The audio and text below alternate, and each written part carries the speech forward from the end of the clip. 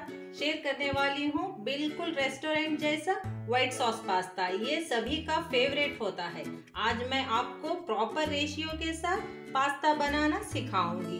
चलिए स्टार्ट करते हैं white sauce pasta recipe white sauce pasta recipe के लिए मैंने इस तरह के पास्ता लिए हैं। आप कोई भी शेप के ले सकते हैं। टेस्ट में कुछ भी फ़र्क नहीं आएगा। टेस्ट सेम ही रहेगा। तो मैंने 200 ग्राम्स ये पास्ता लिए हैं और पानी बॉईल करने के लिए रख दिया है। और उस पानी में मैं हाफ़ टी स्पून नमक डालूँगी। जब पानी में बॉईल आ जाए, तब उसमें मैं पास्ता ऐड कर दूँगी। देखिए, हमारा पानी बॉईल हो रहा है। मैं सारे पास्ता उसमें डाल दूँगी। पास्ता डालकर मैं थोड़ा सा उसमें चम्मच चलाऊँगी ताकि वो नीचे ना चिपके। बस हमें इसे 80 परसेंट ही कुक करना है। फुल कुक नहीं करेंगे। फुल कुक करेंगे तो वो बहुत चिपचिपे हो जाएँगे। देखिए, अभी हमारे पास्ता रेडी नहीं हुए हैं, इसे पाँच छः मिनट लगेंगे कुक होने में। तब तक मैं सॉस की तैयारी करूँगी।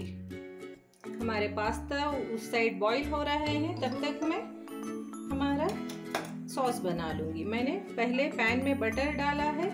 बटर हमें ज़्यादा डालना है और मैदा थोड़ा कम अच्छे से उसमें घुल जाना चाहिए, तभी हमारा ये अच्छे से बनेगा, सॉस अच्छे से बनेगा।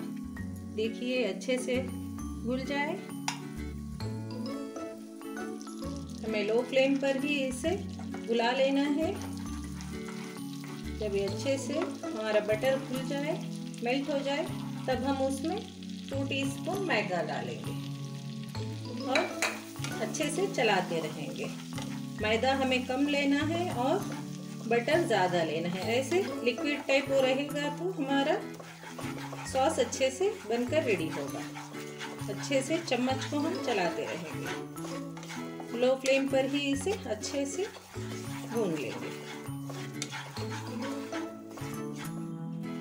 देखिए हमारा मैदा, अब थोड़ा सा कलर मैदे का चेंज हो चुका है, तब मैं गैस को ऑफ़ कर लूँगी।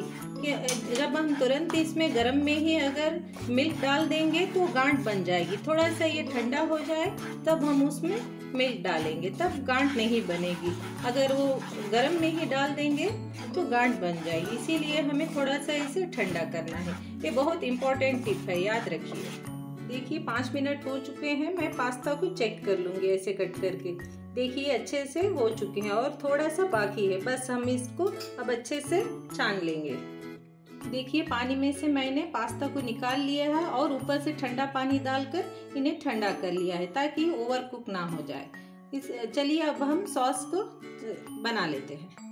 देखिए, सॉस के लिए हमने जो ये बनाया था, वो अच्छे से ठंडा हो चुका है। अब हम उसमें दूध डालेंगे। तब उसमें लम्स नहीं बनेंगे, बिल्कुल लम्स नहीं बनेंगे। ये बहुत सिंपल ट्रिक है।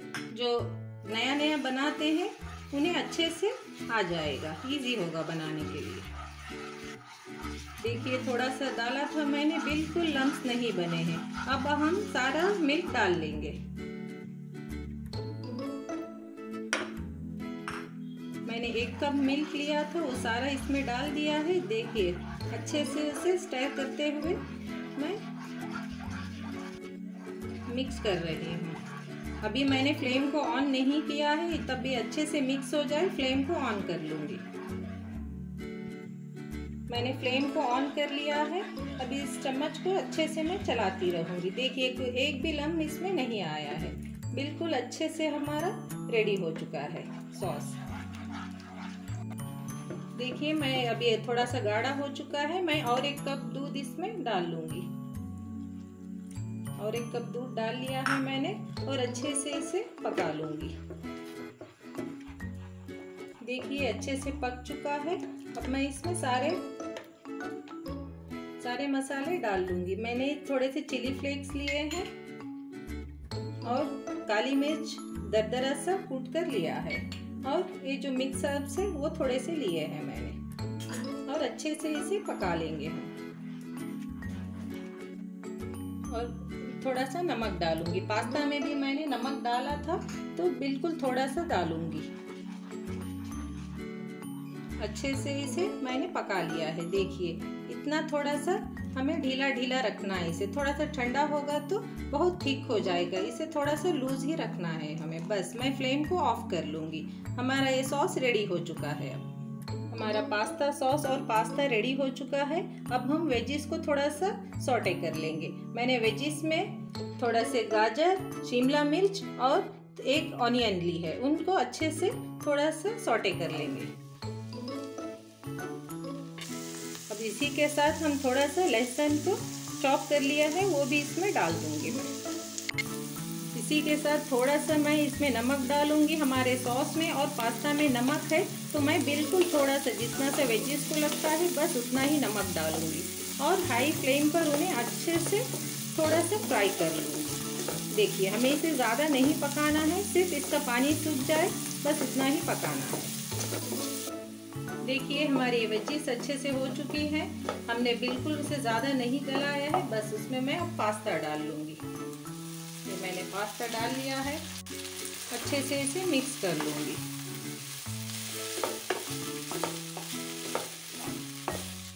देखिए, अब मैं इसमें जो हमारा सॉस मैंने बनाया था, वो सारा इसमें डाल लूँगी। मैंने थोड़ा सा लिक्विड रखा था, देखिए अब कितना सा थिक हो चुका है ये। तो सारा इसमें डाल लूँगी। और इसे अच्छे से मिक्स कर लेंगे। हमारा पास्ते में बहुत अच्छी सी खुशबू आ रही है। मैंने सॉस में और वेजिस में नमक डाला था। अब मैं चेक कर कर देखूँगी कि नमक हमारा करेक्ट है या नहीं। थोड़ा सा मुझे नमक कम लग रहा है। बिल्कुल थोड़ा सा मैं और इसमें नमक डालूँगी। बिल्कुल थोड़ा सा। और अच्छे से इसे एक मिनट तक पकाऊँगी। और चेक करूँगी हमारा पास्ता अच्छे से गल चुका है या नहीं। अगर नहीं गला है तो और एक मिनट इसे अच्छे से पकाऊँगी। देखिए कितना अच्छे से ये क्रीमी बन चुका है। देखिए और एक मिनट मैंने इसे पका लिया है और हमारा नमक भी करेक्ट हो चुका है। और हमें इसे लिड को बंद नहीं करना है, वरना ये चिपके चिपके बन जाएँगे।